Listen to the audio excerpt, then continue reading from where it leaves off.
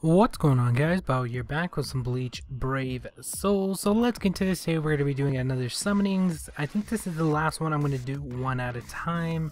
If I don't get anything here, I think I'm going to try the times 10 again. Uh, doesn't seem to be that big of a difference on either one. I've only gotten one 5 star from the actual summonings and that was from just doing it like this. But that was after like 5 attempts, so I'm going to go switch back to times 10 Hopefully we'll get something better. We're starting off with a 3 star. I did notice on this one, I think we do get more 4 stars on some of the summonings. Not on all of them, but uh, I noticed sometimes I get 3 or 4, or sometimes you'll get quite a few compared if you do if you do it times 10. So so far not looking good. We haven't got a 4 star.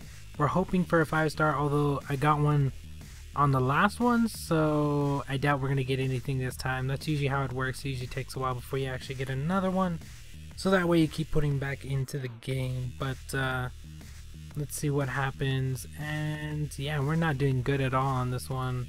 We're actually just getting a ton of 3-star characters, which I don't mind. It does help me level up the last character I got, so... And there's our first 4-star and you can use these for various things as well. Leveling up helps out a lot. I think you only need a few of these to get the new 5 star character up pretty high. So that way you can level it up to level 100. And then that gives you 50 more of the orbs. So yeah, that does help out a lot. But uh, other than that, we're not getting anything. And we got a 4 star. I'm hoping for a 5 star, but uh, there's another 4 star. This is going to be the last one. We're hoping for something good. I mean, let's uh, get another 3 star.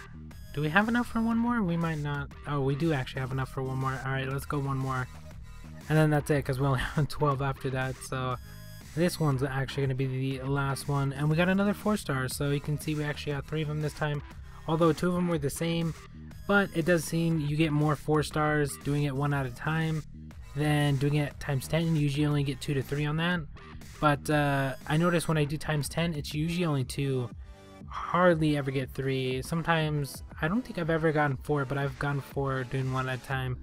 But uh, yeah, that's going to be about it for this one. Thank you guys for watching, and we'll talk to you guys later.